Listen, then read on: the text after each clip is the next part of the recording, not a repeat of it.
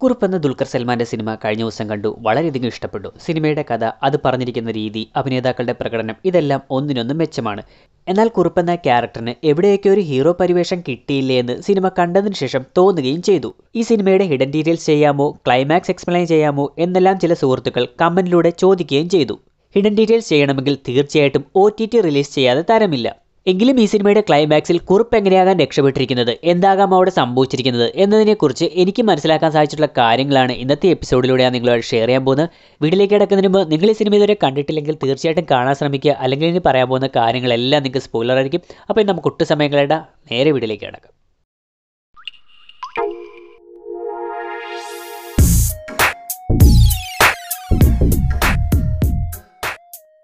ആദ്യം ക്ലൈമാക്സിലേക്ക് എത്തിയ പ്രധാനപ്പെട്ട കാര്യങ്ങൾ എന്തൊക്കെയാണെന്ന് നോക്കാം. ചാർലിയെ കൊന്ന കേസിൽ നിന്നും രക്ഷപ്പെടാൻ അലക്സാണ്ടർ എന്ന കള്ളപ്പേരിൽ കപ്പൽ മാർഗം നാടുവിടാൻ കുറുപ്പ് തീരുമാനിക്കുന്നു.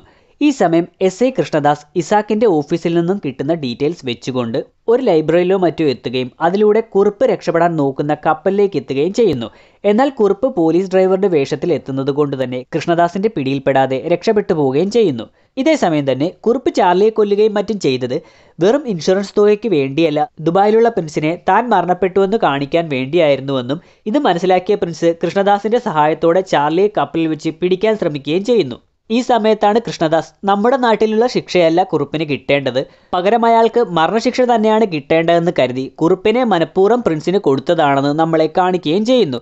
അതിലൂടെ കുറുപ്പ് പ്രിൻസിന്റെ മുന്നിൽ പെട്ടുപോകുന്നതായിട്ടും എന്നാൽ അവസാനം കുറുപ്പ് ചിരിക്കുന്നതിലൂടെ അതിൽ നിന്നും രക്ഷപ്പെട്ടിരിക്കുന്നുവെന്നും സിനിമയുടെ അവസാനം അറുപത്തൊന്ന് വയസ്സായ അലക്സാണ്ടർ എന്ന നൊട്ടോറിയസ് ക്രിമിനലായി കുറുപ്പ് ജീവിക്കുന്നതായിട്ടും പ്രിൻസ് ഒരു കാർ അപകടത്തിൽ മരണപ്പെട്ടതായിട്ടും കാണിച്ചുകൊണ്ട് സിനിമ അവസാനിപ്പിക്കുകയും ചെയ്യുന്നു. സോ എങ്ങനെയാകാം പ്രിൻസിന്റെ കയ്യിൽ നിന്നും കുറിപ്പ് രക്ഷപ്പെട്ടിരിക്കുക എന്ന് നോക്കാം.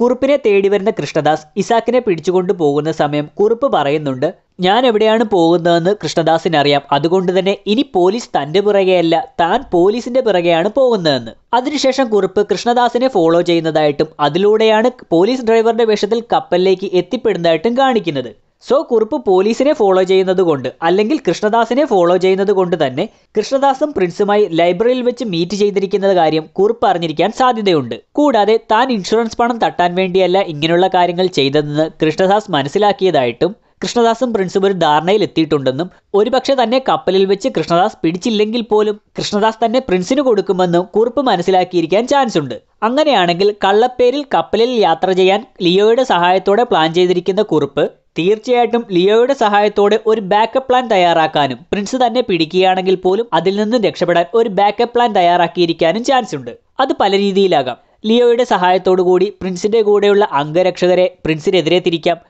പക്ഷെ അതിനേക്കാട്ടിലും എളുപ്പമുള്ള മാർഗം തന്നെ പ്രിൻസിന് പരിചയപ്പെടുത്തി കൊടുത്ത താനുമായിട്ട് വർഷങ്ങളുടെ അടുപ്പമുള്ള എല്ലാത്തിനുമുപരി ഒരു ആയുധ കച്ചവടക്കാരനായിട്ടുള്ള ലിയോയുടെ സഹായത്തോടു കൂടി പ്രിൻസിനെ തോൽപ്പിക്കുക എന്നതാണ്. ആ കപ്പലിൽ ലിയോ വന്നിരിക്കുന്നത് കുറുപ്പിന് പുതിയ പാസ്പോർട്ടും പേരും കൊടുക്കാൻ വേണ്ടിയാകാം. എങ്കിലും അയാളുടെ സഹായത്തോടു കൂടി പ്രിൻസിനെ ഒരു തോക്കിൻ മുനയിൽ നിർത്തുകയാണെങ്കിൽ പ്രിൻസിനെ ആ കപ്പലിൽ നിന്നും ഒരു വലിയ പ്രശ്നമുണ്ടാക്കാതെ അവിടെ ഒരു വലിയ ബഹളം ഉണ്ടാക്കാതെ പുറത്തു കടത്താൻ പറ്റും.